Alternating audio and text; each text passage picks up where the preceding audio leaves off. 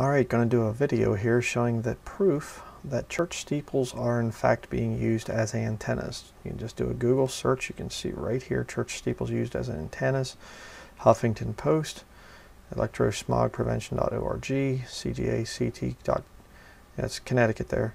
Uh, their government website, their state website, NewYorkTimes.com, InsuranceBoard.org, uh, assets, uh, USA Today, Bangor Daily News, Southern Maine, um, down through Jehovah'sWitnesses.com. Uh, but what we're going to focus on is this article right here. Uh, actually, it's this one over here, but let me just go here first. This is the images thing. And of course, you can see right here, this is what your cell phone towers normally look like. But see, isn't it much better to hide them inside the nice steeple there? Then it's not as uh, offensive looking, I guess, and all these different places here. But I thought this one down here was a pretty interesting diagram. Uh, where was that at? Yeah, right here. Okay. LTE antenna, AT&T antennas, uh, rad center. Right there you go. Um, yeah, you can see all the different stuff here, all the details of how this thing works, where they put them in and things so that you can't see it. It's just absolutely incredible. Um, so now let's read this article here from the New York Times. Notice this is July 29th of 2001. This is a quite a bit, you know, very, very old article here. It says here the Connecticut skyline has always been defined by its church steeples, these, those towers that rise above above the trees probably should be above there, but the trees and give so many of the state's community communities their charm. But in a 21st century twist, these old spires that were originally built to resemble Christopher Wren's stone steeples in London are becoming the camouflage to hide microwave antennas for cell phone companies. Microwave technology is extremely dangerous, can be used to mess your mind up, can be used for mind control. It's very, very bad stuff. Uh, look at uh, Barry, Trow Barry Trower's uh, information on YouTube. A very intelligent man from the UK. But anyhow, what started slowly just a few years ago is becoming much more common, with church after church in town after town turning over the rooftops to the telephone companies. In return, cash-strapped churches not only receive monthly rent from the companies, but also get their steeples, often in desperate need of repairs, renovated for free. It is a gift many churches just can't pass up. We are a very poor church trying our best to help the people in the community, said the Reverend Allison B. Cook, woman preacher of St. James Episcopal Church in Derby, where Verizon Wireless installed an antenna in 1997. How many people had cell phones back in 1997? Not very many. This was for us a gift, and it was going to go somewhere. Despite concerns about the health effects of microwave radiation and the queasiness over letting commercial ventures use their space, about 20 churches have cut deals with the phone companies and more are in negotiation. Remember, this is 2001, so it's now into the hundreds, probably thousands. In Goshen, for example, Sprint PCS spent two weeks in June erecting a 68 foot high antenna inside the clock tower of Goshen Church of Christ Congregational, the first Church of Christ whose steeple had dominated the village of Unionville for three quarters of a century until the spire was raised about 50 years ago. Finally got a new one last year, courtesy of Verizon Wireless. We're going to see more about this later. Cingular Wireless installed nine antennas at the Stamford Baptist Church. Huh that were placed on the columns that support the church bell.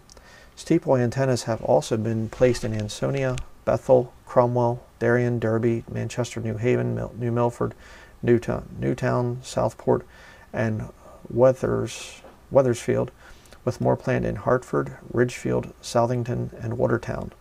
Some communities, such as Derby, New Haven, and Southport, have antennas in more than one church. Hmm. Indeed, these kind of deals have turned into such a boon for churches that they have raised tax questions. The town of Bloomfield, New Jersey is suing one of its churches in an attempt to collect taxes on the cellular, antennas it is housing for VoiceStream Wireless. This is 2001. Remember that. Bloomfield is acting under a state law that allows governments to tax churches and other religious institutions for the portions of their facilities leased to profit making ventures. Why? Because the federal government owns the churches. You see?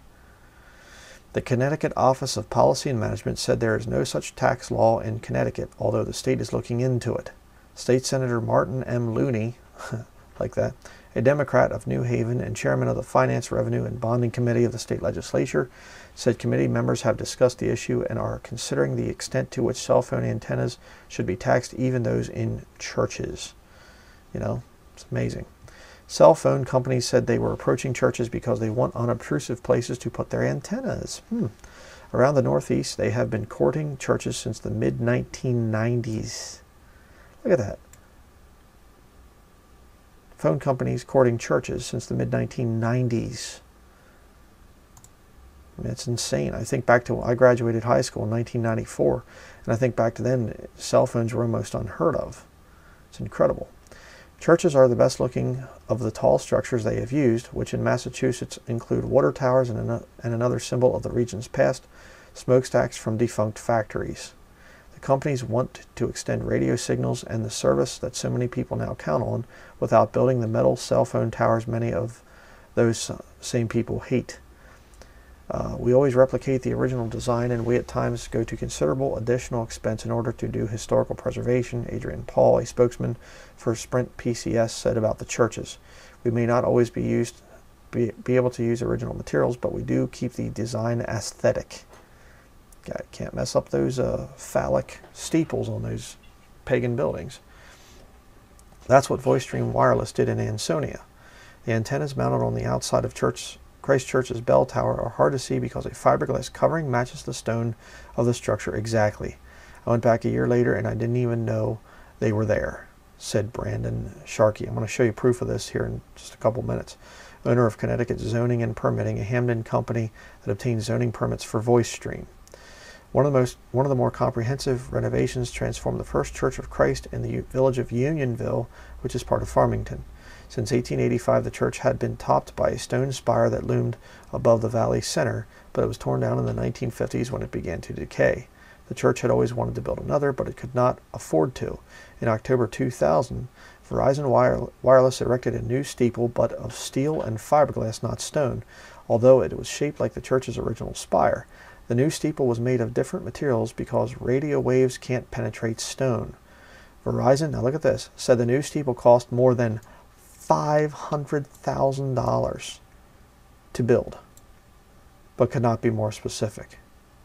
Why is it so important for these guys to get the antennas up? $500,000 to build a new steeple on this pagan cult building? And before we go on, let me just show you here. Here it is right there. You can see this is their website. First Church 1615 First Church of Christ Congregational. Uh-oh, look over here. Hmm. Yeah, you can see where they're going to be going in eternity, going to hell, supporting sodomy. Disgusting. Well, who's the pastor of this fine assembly? Oh, a female preacher. Hmm. Never would have thought it. Reverend Susan Murtha. Yeah. Okay. You know, and it's all just socialism and everything else is all the, the thing is about. Uh, let's see if I can get a picture meeting house history. They might show a picture of it here. You can kind of see it right there. You can see how big this, this thing is. $500,000 is what they spent on it. Uh, Verizon spending $500,000 to put that thing in there. Why is that so important to them? Well, I'm going to tell you my theory in a little bit. But, uh, oops. Just went and clicked off the thing. Let's go down here. Okay, back to the article. The Reverend Thomas Dean, pastor at the church, but this is written back in 2001, so it's now a woman that pastors it, said his predecessor, predecessor sought out Verizon Wireless in 1996 specifically to rebuild the spire. So they contacted Verizon. Hmm. The deal moved slowly over several years, fired up the community and led to a lawsuit by Verizon against the Zoning Commission. By the end, most of the church members wanted the tower, Mr. Dean said. We thought it would be a nice it would be nice to have a steeple again, he said. Steeples have long been an important part of the New England landscape and are deeply symbolic. Very true. Extremely true. Michael J. Crosbie, editor of Faith and Form magazine, uh, excuse me, a journal published in Norwalk for the Interfaith Forum on Religion, Art, and Architecture, said the steeples are historic relics of the 18th and 19th centuries when architects wanted to suggest a connection between earth and heaven. But see, here's how the occult works. They'll tell you this, this is for the uninitiated, but to the people that actually know what this means, this is this connection is between Mother Earth and Father Sky. That's why it is a phallic symbol. It's a it's a sexual symbol connecting the woman Earth with the man Heaven. Mother Earth, Father Sky. That's what this whole thing is about. It's pagan, completely pagan. It says here, if you go through a great old city there has that hasn't been junked up with a lot of skyscrapers yet, I'm thinking of a city like Waterbury, you get a sense of what the role of the church steeple was on the skyline in 18th and 19th century cities, Mr. Crosbie said, and none of those steeples hold a self antenna as yet, but the Church of the Sacred Heart on Wolcott, Wolcott Street has received a permit to allow AT&T Wireless to install some. Mr. Crosbie said many churches cannot afford to restore their old steeples so, steeples, so turning to the phone companies for the money may be the best move. Yeah, sure. A lot of churches, churches are strapped. They all are. All of them want your money, he said. They've got those incredibly high maintenance buildings. Check that out. High maintenance buildings, yeah. Buildings that do take a lot of time and money to keep up, and there's just no base to keep that going. How many times have I said that? Babel buildings are an incredible waste of money. Of course, putting a microwave antenna inside a church steeple means that parishioners must sit underneath it on Sunday mornings. That raises health concerns. Scientists are not in unity on that question, though more and more of them have decided over the last two decades that the lower frequencies of the electromagnetic spectrum, including microwaves and radio waves, do no harm or do not harm people. Yeah, you know the reason they decide that there, these scientists, right there, the reason they say, oh, we decided it doesn't harm people. Where do you think they're getting their money from? They get kickbacks from the very people. They don't bite the hand that feeds them, in other words. All known forms of cancer, including viruses, chemicals, radiation, they all induce cancer by causing damage to the DNA, said Robert Park, professor of physics at the University of Maryland and director of the Washington office of the American Physical Society. It's got to be able to break that chemical bond. The simple fact is that radio waves can't do that. They just don't have enough energy. They don't have nearly enough. He's a total liar. However, Dr. George L. Carlo, author of Cell Phones and Invisible Hazards in the Wireless Age, there's your publisher there, has said he is concerned about the dangers of cell phones. He said some studies indicated that microwaves could cause genetic damage and could weaken the blood brain barrier that protects the brain. Absolutely true. It, it's even far worse than that. Uh, the cell phones are absolutely terrible for your health. That's why if you look in the um, some of the warning and stuff in there in, in your cell phone, it'll tell you that you should hold it at least, I think it's like 10 inches away from your body. Well, nobody does that when they're talking on those things. They put it right up against their face. It's terrible. But uh, it says here the Goshen Church of Christ Congregational, where a daycare center runs out of the parish hall, was so concerned about the issue that it hired Peter A. Valberg, a Harvard physicist, to give a talk to the church. He said it was his opinion that there was no risk to the congregation, yeah, because he's bought paid for, according to Jeffrey Lindstrom, a house designer who represented the church for the project. Mr. Valberg could not be reached for comment. We convinced pretty much everybody, Mr. Lindstrom said, but one family pulled their child out. Yeah, they had sense. Shouldn't have been going in the first place. Another reason people worry about churches letting cell towers inside their steeples has to do with the ethics of allowing a commercial enterprise into a church building, however silent it is. Some members of churches with antennas said they asked themselves if it was ethical to run a rental business. Many of them said that they decided not to use the rent money to replace uh, normal sources of revenue, the great majority of which comes from church members themselves. The Goshen Church decided to use the money to pay for major work on the building, not on the operating budget, Mr. Lindstrom said. This was presented to the congregation as a windfall and not something that's supposed to be used for running the budget, he said. Look at how much they make down, down here. Mr. Lindstrom said the church's trustees negotiated a five year contract and had the expectation the deal would continue to at least 10 years, but that they wanted to use the money only for improvements, repairs, and when that was taken care of, mission in the community. Mm-hmm. The rent, which began in June, will be $1,500 a month, he said. This is 2001. 1500 a month is what these Babel buildings are being paid to have these towers, these antennas and things installed inside their steeples. Incredible. At the church in Unionville that got the new steeple, most people thought it was really good, said Mr. Dean, the pastor. There was a few there were a few people who had questions about being connected with the business. We just addressed it that they're just renting space. We're not sponsoring Verizon. okay. Not all churches have said yes to the phone companies. At the Farmington First Church of Christ on Main Street, whose members considered and rejected a cell phone antenna, people had several fears, including giving the company access to the equipment and placing it so near their congregation. They also worried that antennas, no matter how well hidden, might change the look of their 1771 building, something they would have to explain to the local historical commission. Where's all this stuff at the New Testament, people? oh, our building's historical, and we, we the zoning commission, we'd have to get you know in the historical commission, and and you know we had to, we don't want it to change the look of it. This is not New Testament. This is paganism. Ultimately, said Ned W. Edwards Jr., the pastor, it was hard to predict how long cell te technology would last.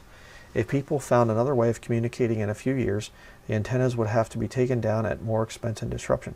Oh, I assure you they have other plans for the antennas. We've been in the church business for almost 30, 350 years now, he said. We've been in the uh, church what? Business.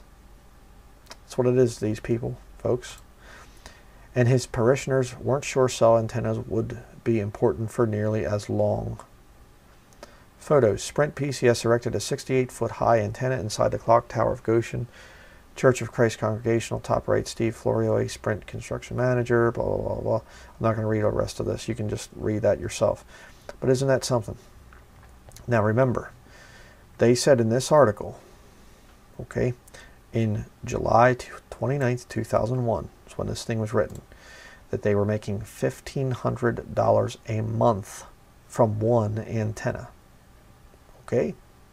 Remember that? Check this out. Here we have Bridgewater, Maine. This is antennasearch.com. You can go to antennasearch.com. I'll put the link down in the description box, and you can go there and you can actually look up your town and see if any of the Babel buildings are doing this thing. Right here, First Baptist Church of Bridgewater. Is right down the road from the ministry headquarters here, right down the road. And looky there, up two, not one, but two antennas right there. First Baptist Church of Bridgewater. I'm going to actually put a little bit of video in here and uh, showing you that there are no outward signs of this of these antennas.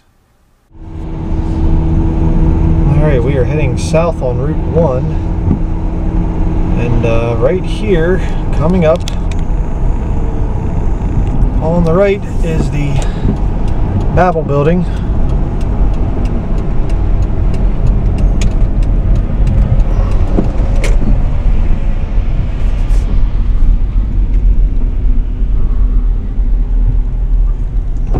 Notice the uh,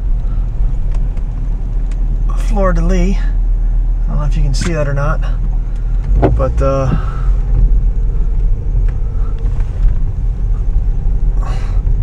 see I don't see any antennas.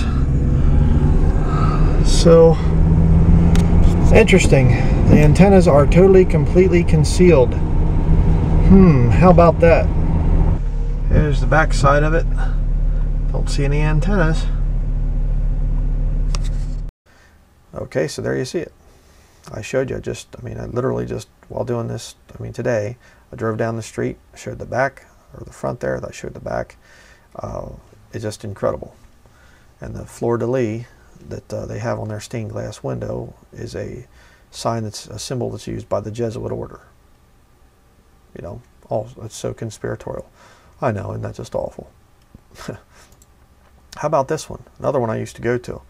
Liberty Baptist Church. Right there it is. That Was, it. they were actually considering making me pastor at this place. I used to go there, faithfully attending there. You know, this is the Babel building right here. This was a Hyles uh, spin-off church. He actually preached there. Jack Hyles preached there, and uh, this is the gymnasium right here. And then out here is the equipment building. Right here is the water tower. Right there. This is all the church's property, and right there is your antenna. I think it was probably actually the water tower. They just have it, you know, like that. But yeah, right there. I used to go there all the time. This whole big property here is the church property. They go down into this tree line here and come up, come up around. They were always looking for ways to make money and everything. But then I did an interesting one. I thought this would be interesting. Uh, Tempe, Arizona. This is where Andersnake's Babel building is, right in the middle there. And it's a rented building. It's not, he doesn't have a Babel building. But I just thought, man, you talk about control. Look at the tower results.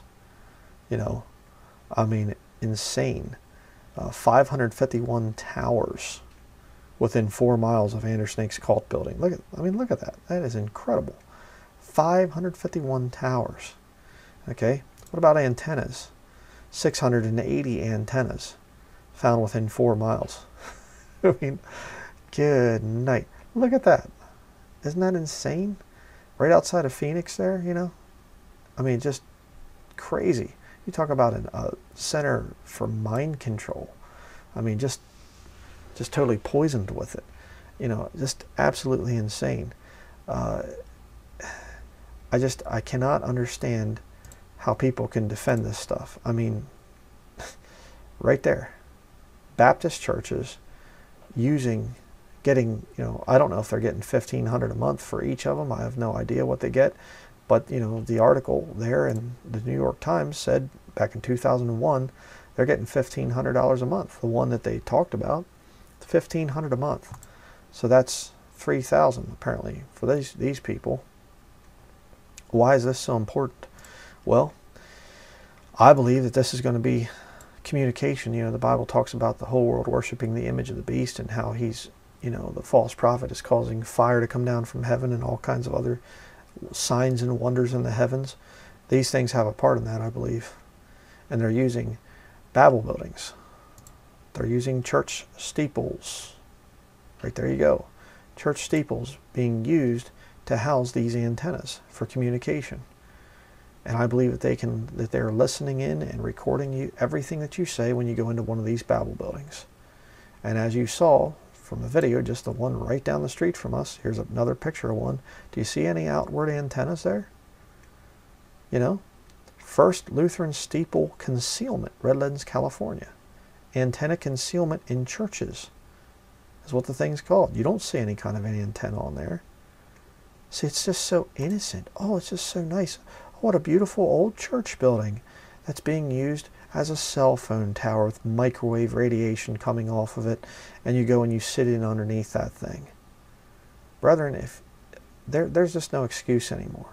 People get mad at me, you know, and they say, "Well, you shouldn't be, you know, uh, saying things about people, you know, that you're lost if you go to a church building." I said, if you continue in these things after hearing the truth, then you're lost. I mean, good night, people. Come out of this stuff.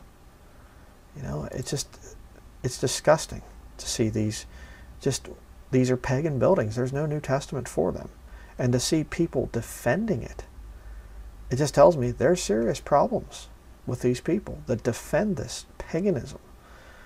Man, get out of these church buildings.